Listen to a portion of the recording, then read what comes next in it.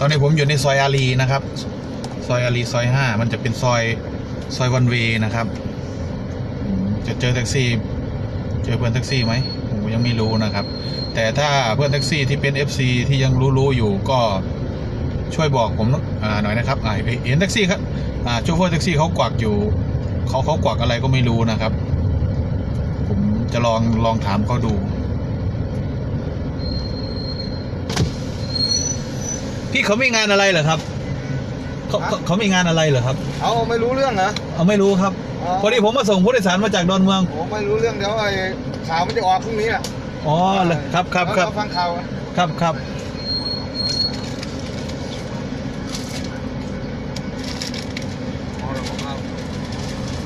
อันนี้ไปได้ไหมเนี่ย โอ้อัดอัดเต็มเลยครับ มีแต่แท็กซี่นะครับ ตอนนี้ครับ โอ้โห ซ้ายก็เต็มขวาก็เต็มนะครับอ่า เพื่อนๆดูนะครับ นี่ซอยอารีนะครับเนี่ยกระทรแต่เห็นเขียนว่ากระทรวงทรัพยากรนะครับอ่าเพื่อนๆดูนะครับเนี่ย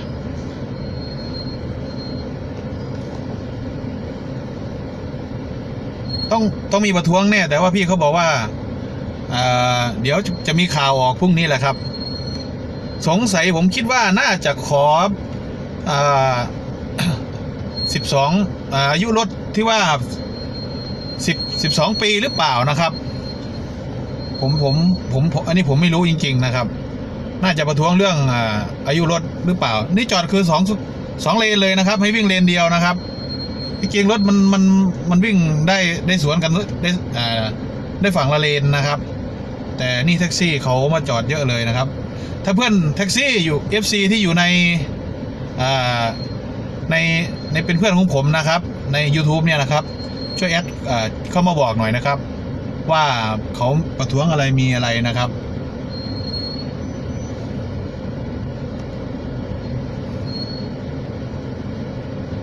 ตอนนี้อยู่ซอยซอยอารีนะครับ ก็คือว่าผมบังคับเลี้ยวเข้ามาซอยห้าเพราะว่ามันเป็นบังคับวันเวย์ผมต้องตรงมาอยู่แล้วครับ แต่เพื่อนแท็กซี่เขาบอกว่า เดี๋ยวพรุ่งนี้ก็รู้พรุ่งนี้ก็รู้นี่คืออะไร น่าจะ ผมคิดว่าน่าจะประท้วงเรื่องอาอายุขออายุใช้ใช้งานรถนี่แหละครับ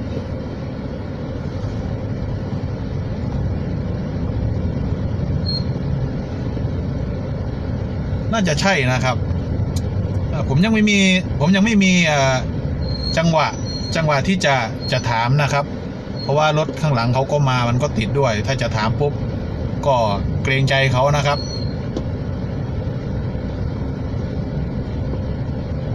เกรงใจเขาตำรวจก็มีเยอะนะครับตำรวจเต็มเลยครับ ไปท้วงอะไรก็ไม่รู้ ผมก็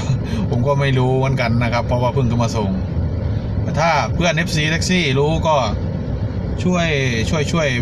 ช่วยช่วยบอกหน่อยนะครับ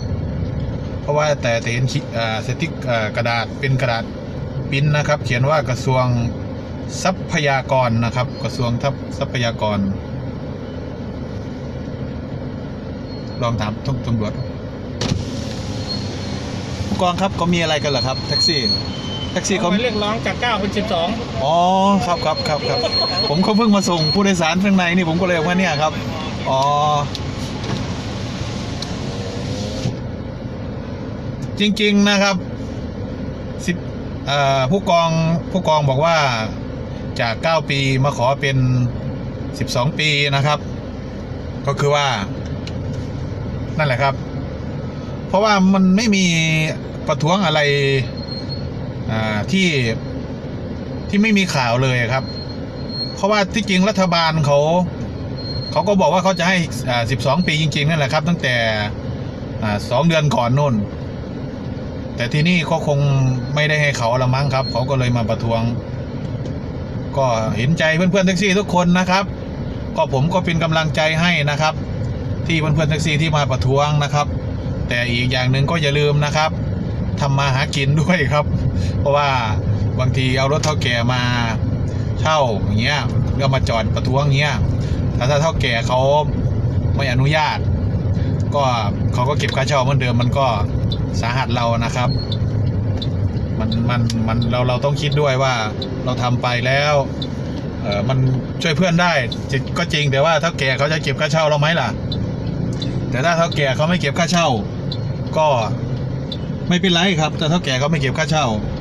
เออก็มาได้ถ้าเพื่อนเพื่อนแท็กซี่เอ่อมีใจ ผมก็อยากให้ทุกทุกคันเหมือนคันที่ผมขับก็เหมือนกันนะครับ ก็คืออย่างทุกคนนั่นแหละครับก็อยากได้ที่12 ปีหมดเพราะว่าตั้งแต่โควิดมาเขาก็ต้องมีจ่ายเงินค่างงค่างวดค่าอะไรทุกอย่างนะครับ มันก็เลยเป็นการเรียกร้องว่าหลัง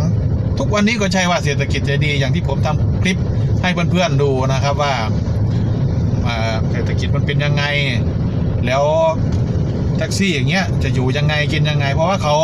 เขาเขาหารายรายวันนะครับ มันไม่เหมือนรายเดือนนะครับ รายเดือนเพื่อนๆก็อยู่ได้นะครับอ่าแต่แท็กซี่เนี่ยเขาหารายวันถ้าวันไหนเขาไม่ได้เงี้ยเขาจะเอาเงินที่ไหนไปจ่ายค่าบ้านจุนเจือครอบครัวเขาอย่างเงี้ยครับ ก็คือถ้า FC อยู่ในสายก็คือรู้แล้วนะครับว่าเขาประท้วงเรื่องอาจากอายุรถ 9 ปีเป็น 12 ปีนะครับ อยู่กระทรวงตรงนี้เขาเรียกเอ่อกระทรวงพาณิชย์ทรัพยากรนะครับ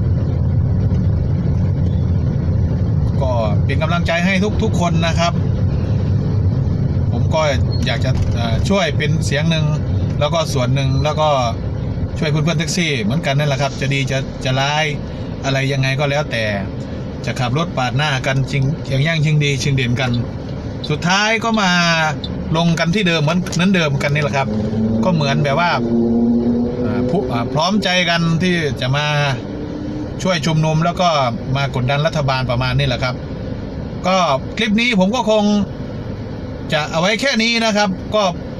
เป็นข่าวด่วนนะครับสำหรับเพื่อนๆนะครับที่ยังขับรถมาฝั่งทาง